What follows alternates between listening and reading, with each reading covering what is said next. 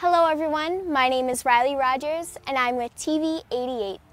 And welcome to marathonflorida.com. You'll find over 10,000 video clips of local businesses and organizations throughout the Florida Keys.